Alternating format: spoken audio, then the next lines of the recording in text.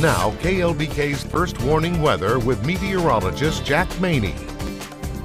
Today's looking like it's going to be another comfortable day outside, but cloud cover might keep it just a little bit gloomy, especially through the morning. You can see outside from our tower cam right now that we are quite well socked in with very, very saturated air here at the surface in Lubbock. We are actually at our dew point temperature. We usually don't see those two temperatures actually meet up, but with that, with those two at 60 degrees, we are now at 100% saturation with our relative humidity value of 100%, a southeast wind of 11 miles per hour, and you can see mist and fog out there developing with low cloud cover as well. It looks like it has improved just a little bit as, as far as visibility just from that tower cam shot there in the last five to 10 minutes, but still you could definitely expect some patchy fog out there, especially in cooler valleys where there isn't quite as much wind. So make sure that you are taking it easy on the roadways this morning just in case you run into any patches of reduced visibility. Temperatures holding steady right around the 60 degree mark across the region with a few mid 60s out towards the east.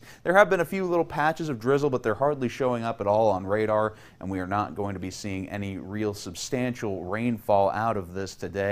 Just a couple patches of drizzle, fog around this morning. Could get down as low as 58 degrees, but not going to cool very much from where we are right now. By noon, 68 degrees. Cloud cover should still be holding tough, and by the afternoon, we get, will get a little bit more sunshine by around 4 o'clock. High temperature of 74 degrees. Despite the cloud cover, we will be having a nice mild one, and then by the time polls close at 7 o'clock tonight, 70 degrees partly cloudy skies. There's a look at your temperatures for across the region. Most of us will be reaching the lower to middle 70s, few 60s here and there, but also might even tap the low 80s uh, out in the rolling plains with up to 80 degrees expected possibly in Jayton. So we are going to have some warmer spots out there today as well. Those clouds will start to clear out. You can see a, few, little bit of that patchy drizzle showing up on our future radar. Then that starts to clear out. We should see fairly rapid clearing uh, during the afternoon hours from west to east. More sunshine expected out west. Then those clouds will pull free. Then tomorrow looks like you can see yet another wave of cloud cover and fog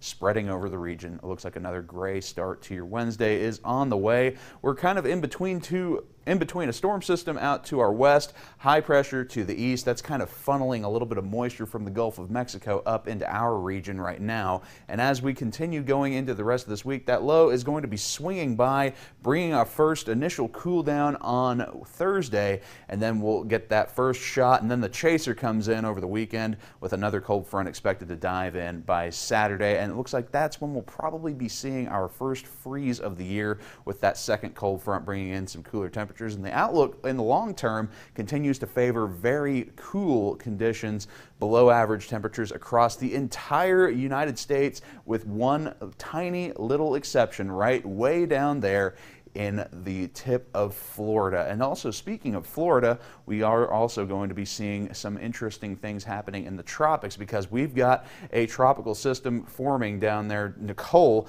is actually expected to come on shore near hurricane strength on the east coast of Florida later on around Thursday of this week. And so we are going to be keeping a track on that, though thankfully this one should stay a little bit more on the weak side. It will be a very large, broad storm. Those typically don't have as much of a rapid strengthening potential. So it looks like we'll be keeping things active in the longer term with lots of cool downs. That first one arriving on Thursday. Windy conditions expected tomorrow and on Thursday as well.